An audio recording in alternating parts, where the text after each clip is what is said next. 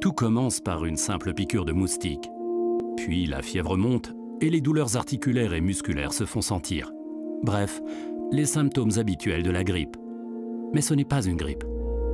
Les symptômes sont souvent très forts, surtout chez les enfants. La dengue est un fléau mondial et elle se propage à une vitesse exponentielle.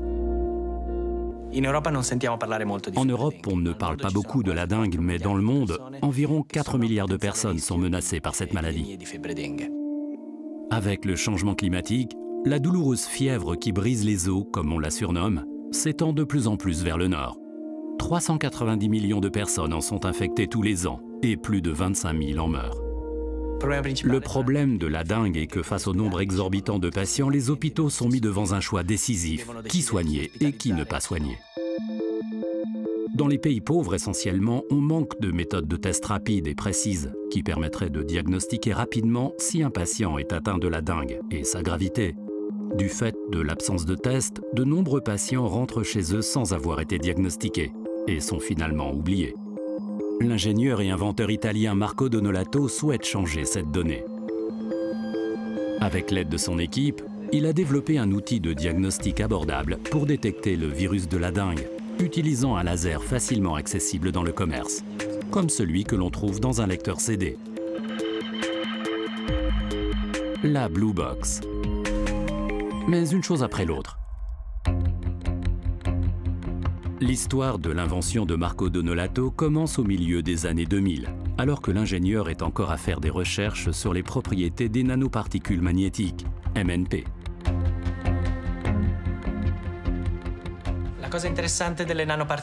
Ce qui est intéressant avec les nanoparticules magnétiques, regardez là, on peut s'imaginer qu'il s'agit d'une de ces particules, c'est qu'elles ne mesurent que quelques centaines de nanomètres, c'est-à-dire qu'elles sont environ mille fois plus petites qu'un cheveu.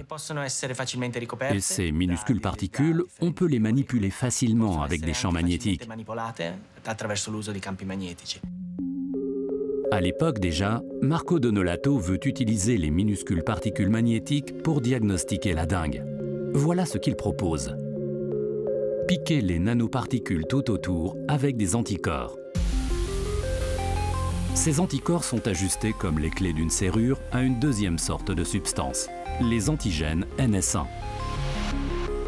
Dans le cas d'une infection par la dengue, ces antigènes sont présents en très grande quantité dans le sang du patient. Dès qu'il s'approche d'une nanoparticule, il s'y accroche. Mais ce n'est pas gagné. Marco Donolato et ses collaborateurs doivent trouver un moyen pour déterminer la quantité d'antigènes et d'anticorps spécifiques de la dengue à partir de la même goutte de sang, en quelques minutes seulement. Le but Les différentes quantités d'antigènes et d'anticorps peuvent indiquer la gravité de l'infection. Pas ou peu d'antigènes signifie pas d'infection aiguë. En revanche, des antigènes en nombre signifient que le patient est infecté sévèrement. Les chercheurs approchent de leur but en activant maintenant la force du champ magnétique. En exposant l'échantillon de sang à un champ magnétique, les nanoparticules s'organisent en chaînes, collées les unes aux autres par les antigènes rouges. Le champ magnétique est activé et désactivé plusieurs fois. Si l'échantillon ne contenait aucune molécule de la maladie, aucune chaîne ne se formerait. A l'inverse, si certaines molécules s'y trouvent, de plus en plus de chaînes se forment. Ces chaînes sont aussi de plus en plus longues selon le nombre de molécules. Dans un échantillon positif, de longues chaînes de nanoparticules se forment. Et ce n'est pas tout. Sous l'effet du champ magnétique, les chaînes se mettent à tourner. La présence de ces nanochaînes est très importante, car sous l'action d'un champ magnétique externe, elles vont se mettre à tourner. Et c'est précisément cette caractéristique des chaînes de nanoparticules qui apporte enfin aux chercheurs la solution tant attendue. Lorsque l'on bombarde les chaînes en rotation de lumière laser, l'intensité de la lumière qui les pénètre change durant la rotation. Et ce changement est mesurable. Plus les chaînes sont longues, plus les antigènes sont nombreux dans le sang et plus l'intensité de la lumière laser est violente. Si aucune molécule pathogène n'est présente, l'intensité de la lumière ne varie pas. Eh, L'une des principales caractéristiques de notre technologie immunomagnétique est que dans un échantillon positif, nous détectons non seulement la présence de l'antigène, mais aussi sa quantité, car nous pouvons mesurer la quantité de lumière modulée par la rotation de nanochaînes.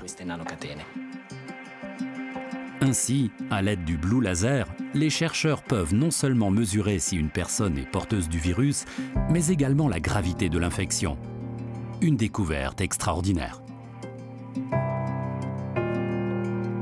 En 2014, Marco Donolato et son équipe fondent la société Blue Sense Diagnostics à Copenhague. Trois ans plus tard, la nouvelle méthode de test est brevetée puis mise sur le marché les années suivantes tous les composants sont réunis dans un seul appareil portable, la Blue Box.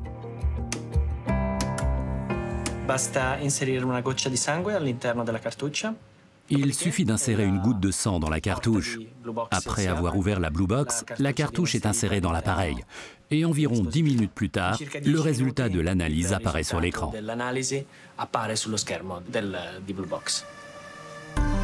En Thaïlande, en Malaisie et au Vietnam, la Blue Box est déjà utilisée avec succès dans la lutte contre la dengue.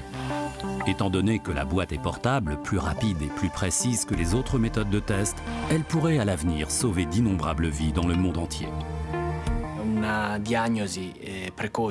Un diagnostic précoce peut réduire le taux de mortalité des cas graves de 20 à 1%